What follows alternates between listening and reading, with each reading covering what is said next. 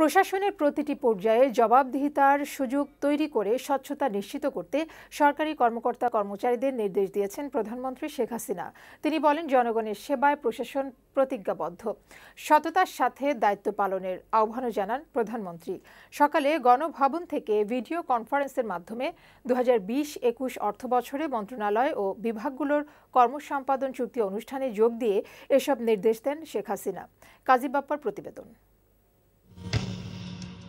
দেশ ও জনগণের সেবায় এবং উন্নয়ন নিশ্চিতে বছর জুড়ে কি কি কাজ হবে তা নির্ধারণ করে একটি অঙ্গীকারনামা বা চুক্তিপত্র সম্পাদন করে সরকারের সংশ্লিষ্ট মন্ত্রণালয় ও বিভাগ।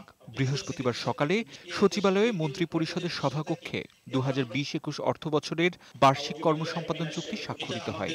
গণভবন থেকে ভিডিও কনফারেন্সে এতে যোগ দেন প্রধানমন্ত্রী শেখ হাসিনা।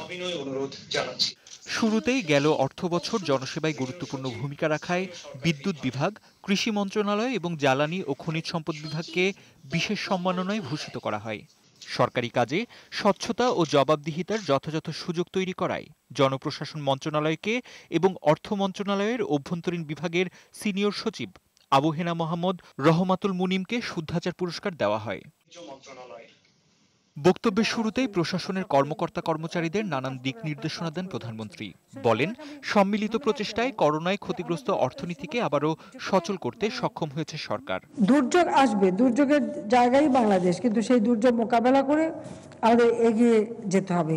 আমাদের অর্থনীতি যাতে কোনো রকম বাধা না হয় বাটা গতিশীল থাকে। জনগণের অর্থেই সরকারি কর্মকর্তা কর্মচারীরা চলেন উল্লেখ করে তাদের প্রত্যাশা পূরণে যথাযথ ব্যবস্থা নেয়ার তাগিদ দেন প্রধানমন্ত্রী। জনগণের কাছে আপনারা ওয়াদাবদ্ধ যে আপনাদের জনসেবা করতে হবে।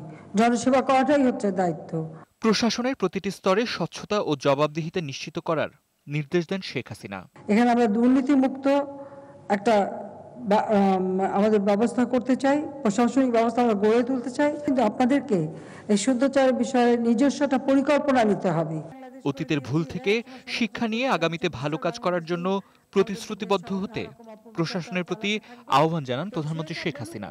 সবাই যখন কাজ করবেন আত্মবিশ্বাস নিয়ে করবেন কে কি বলল কে কি লিখলো ওদিকে কান দিলে কোনো কাজ করতে পারবেন না। কাজী বাপ্পা বৈশাখী সংবাদ ঢাকা।